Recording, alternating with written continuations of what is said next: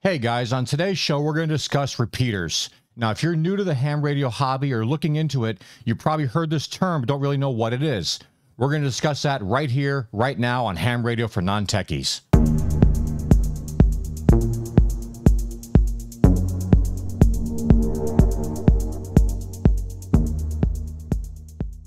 So, welcome back, guys.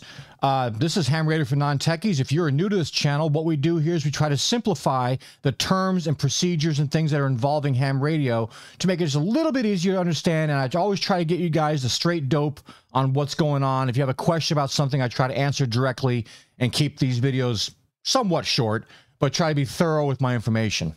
So today's discussion is about ham radio repeaters. Now, again, like I said, if you're new to the hobby, you probably heard this term run around. You might know a little bit about it, but what exactly is a repeater? What's it made of? How are they built? What do they do? So we're going to jump into that right here. I got a little presentation to show you a couple of little things. We'll just uh, try to get it explained as quickly as possible. So without further ado, let's pop over to my desktop and see what's going on. All right, so what is a ham radio repeater? An amateur radio repeater is an electronic device that receives a weak or low signal, say from your radio, and retransmits it at a higher level or higher power so the signal can cover longer distances without degradation. Similar to what you see in the picture here. Another way to look at it would be in, uh, this always happens. There we go. Up. So you have your antenna here, which is where the repeater would be on and say you're on your HT, which is only transmitting maybe five watts, eight watts, something like that, and you want to reach somebody who's 20 miles away on the other side of town, well, you transmit into a repeater by programming your radio to hit the repeater. The repeater receives a signal, retransmits it at a much higher power so it can reach somebody across town another 10 miles away. That's the basic setup of it. Um, so we're going to get into a little bit more about what this what this involves. So let's go into here the how, why, and who. How are they used? Well, most time ham radio clubs will use them. They're used for special events, local ham nets. Like my, I've talked before about this. My local net uh, or my local club has a daily net, and we use a repeater to reach everybody, you know, far and wide around the around the greater Houston area. Uh, and of course, local ham radio operators. Whenever I want to get on VHF, UHF, I'm always on that frequency, either in my truck, on my base station, or even on one of my little HTs, which are all programmed to hit that repeater. So why use a repeater? Well, instead of being limited by line of sight, a repeater allows for longer distance communication between two operators through the use of a repeater. So you have kind of two choices. By using a repeater, you can reach people much longer distance. Like I'm able to talk to people 30, 40 miles away or greater, depending on the on the conditions, uh, using this repeater that's by, that's nearby uh, where I am. Uh, however, if you did not have that, you're pretty much kind of stuck with what they call simplex, which is line of sight. In which case, you know, for simplex to work effectively, you want to have, you know, more power. Your antenna needs to be really high up so it can, you know, it can reach somebody else. And you're still going to be limited. You're not, I mean, you're probably not going to reach people really, really far unless you got your antenna way up there and you're running a pretty decent amount of power. Um, now, there are many types of repeaters out there. Most of them are used for 2 meter and 70 centimeter bands. And there are some instances, although I have not run into them myself, there are some instances of having HF repeaters, say like on, on 10 meter and stuff like that. Um, they can be used for both FM and digital modes. So, how do repeaters work? You have a downlink, which is your receive frequency, and you have an uplink, which is your transmit frequency. These frequencies are different, often called an offset. So in our case on VHF, our offset is a negative 600 shift. So if I'm transmitting, if I, if I, if our repeater is on 146.940, when I push my little PTT button here, I'm actually transmitting on 146.340 because we have a negative shift down from the actual uh, uh, the uh, uplink frequency, I believe it is. So where can you find repeaters in your area? Well, there's a couple places you can go. Uh, you have repeaterbook.com. You also have RFinder, and there's probably some other ones out there. Those are the ones I, you know, the ones that are most popularly used. Now, if you're using uh, RT system software to program your HTs or program any of your radios, some uh, inside that program, there are ways you can import. You can just do a search for and import data from Repeater Book or from R Finder systems and other places where you can get, you know, like say you're going to go on a trip and you want to pre-program your setup so that you have all repeaters from point A where you are to point B wherever your destination is. So you can actually get a list of all those and and, and uh, filter out the ones you don't want. Say you're only going to be on two meter, you can just filter out all the other repeaters that might be in that that stretch and just program the ones you think you're going to need or might use from where you're going, from where you are to where you're going. All right, so let's go jump into nitty gritty here. And this is where it's going to get a little bit more geeky, but I'll try to keep it as simple as possible. So this is the basic makeup of an amateur radio repeater. So we start off, let me get my thing going here. And we start off having a power supply. So you have your AC power supply, which would then go into a 12 volt DC power supply, which is going to power quite a few things.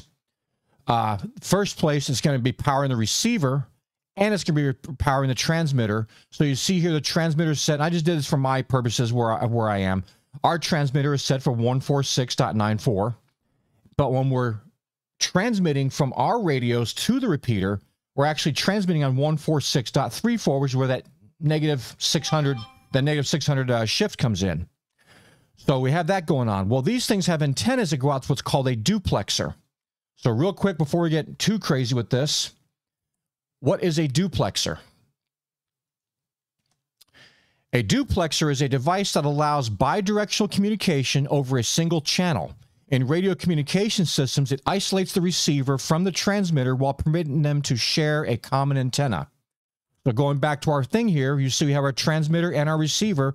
Antennas going into both both in, both antennas for these uh, these items are going into our duplexer here. So that duplexer is then hardlined with LMR coax over to a lightning arrestor. Then we have more coax coming out of the lightning arrestor and going up to our antenna which is hopefully mounted as high as possible. Now, I think ours here, probably a couple hundred feet up. I mean, it, has got a really good reach around the city, so I'm pretty sure our, our uh, I, I, can't pinpoint. I know where the where the repeater is in my area. I just don't know which module is our repeater on the actual tower. But anyway, that's your antenna would be up really high, allowing it to transmit a much wider range around your area. So coming out of the transmitter and the receiver, this would now go into a sound card, which is then connected via USB to, say, a Raspberry Pi computer. The Raspberry Pi, of course, needs power. So it's got a 5 volt regulator that's uh, usually USB or USB C, and that goes back into your 12 volt power supply. So the only other thing left from here is you have a network connection. So you have an Ethernet cable going out to your network going out into the actual nuts and bolts of the uh, of the uh, of the uh, repeater room.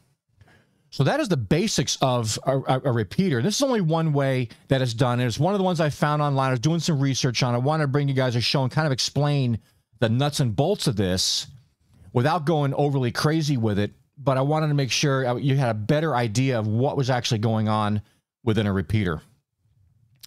So with that being done, I believe that is the end of that so let's get out of here. We'll clear that and turn that off.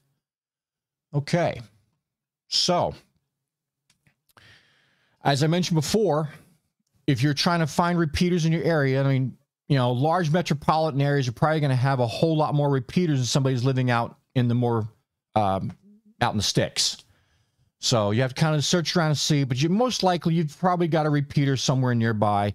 And if not, you've always got simplex. You just have to have a much higher antenna and maybe a little bit more power to reach people uh, that you're trying to contact. So going over to Repeater Book, you can sign up. I think it's free. Uh, so you can, you can log in. And then over here, you can do North American repeaters. So if I click on that, we'll give it a second here to catch up because the internet's running slow today.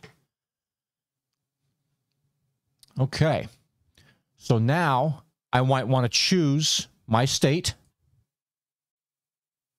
And that'll bring up the repeaters in my state. So it's showing here there's 1,779 Texas repeaters in the database. Okay, I don't need access to all 1,700 of these things. Most of them are going to be way out of range for me anyway. So maybe I just want to look for the two meter stations in my area. So I'll filter out by clicking on band. And now I get a list of 669 repeaters in my area or in the in, in Texas. And I'm sure there's probably a way to kind of bring it down to more localize it for your immediate area. But you can also just kind of look and see what your what you find your county here. And if you see your county in there, then there should be some repeaters you can look at and you just try them out by programming your radio and you know transmit and see if you can reach somebody. So in my case, like I said, it's 146.940. So I'm going to scroll down because I already know this ahead of time. And it's going to be a second. So if I scroll down to 146.94, and let's see, where am I? There we go. So 146.94, negative 0.6 megahertz shift, and we have a tone. So all, all repeaters, most repeaters are going to have a tone. So in your HT or in your actual any of your any of your ham radios, when you're setting up the frequency, you then set up what the shift is going to be. And most of the time for VHF, UHF, it's going to be a, an offset of, of, of 0.6 megahertz. And then you want to set up your tone. So that'd be your CTCSS tone.